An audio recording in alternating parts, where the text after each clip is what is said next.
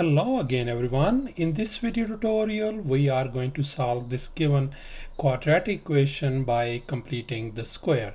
So the very first step I want to make sure it that we must have our leading coefficient must be 1 and as you can see it is 2 right now over here we want to make it 1 by just dividing by 2 over here if you divide this one by 2 you must divide each and every term by 2 across the board.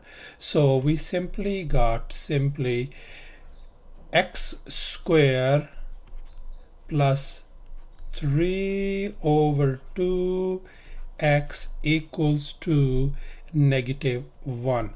So far so good.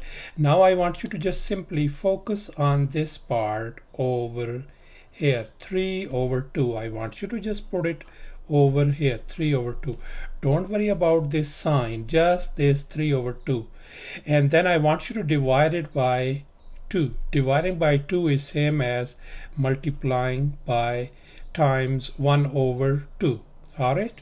So once you multiply 3 over 2 times 1 over 2 that's gonna give you 3 over 4 and then whatever this quantity is you must square it so these are the steps. So whatever we got this quantity, we're gonna add it on both sides of this equation. So let's go ahead and do that one. So that's gonna be x squared plus 3 over 2 x plus and then I'm gonna put down negative 1 plus and now this is what I'm gonna do I'm gonna put down 3 over 4 square on this side and 3 over 4 on this side. Now I want you to just focus on the left hand side over here. This represents a complete square of x plus 3 over 4 square and on this side this is negative 1 could be written as negative 1 over 1 plus 3 over 4 squared is same as 9 over 16 now you might be wondering how did I get this thing by completing a square so we have used this fact as you can see over here a minus b square could be written as a square minus 2 times ab plus b squared. So in other words, this x, this came right up here, this 3 over 4 showed up right up here and whatever this sign is, this showed up right here. So far so good.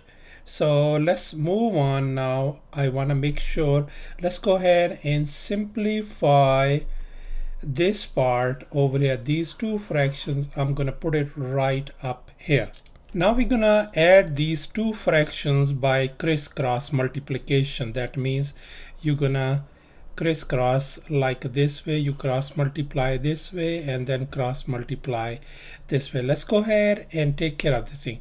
When you do like this a negative 1 times 16 is negative 16 and then whatever this plus sign you just put it there then cross multiply the other way around. 9 times 1 is 9 divided by your bottom numbers your denominators are 1 and 16 you just multiply them. 1 times 16 is 16 so what we got on the top is negative 7 over 16 so that means this right hand side, these two fractions, they are simplified to negative 7 over 16. On the left hand side is x plus 3 over 4 square. Now we want to solve for x, so we must get rid of this square. So we're going to take the square root on both sides. So that's the next step we want to do so now you can see this square and square root they undo each other we got x plus 3 over 4 equals to I can break this one split them up. I'm gonna put down positive or negative sign outside.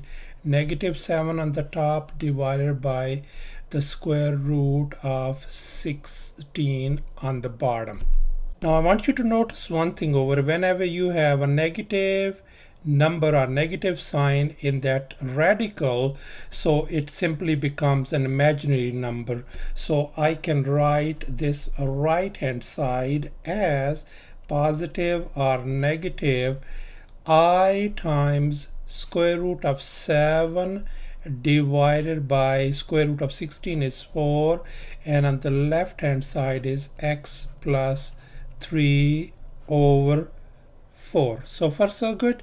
Now over here since we want to isolate x so we must move this 3 over 4 on the other side. So when you move this positive 3 over 4 on the other side that become negative 3 over 4 plus or minus i times square root of 7 divided by 4. Now we're going to split them up along the positive and negative sign. So we're going to simply have two solutions.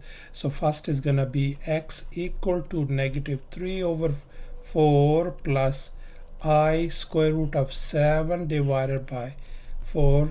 The other solution is going to be negative 3 over 4 minus i square root of 7 divided by 4. Thus our solution set turns out to be these both solutions. I put it together.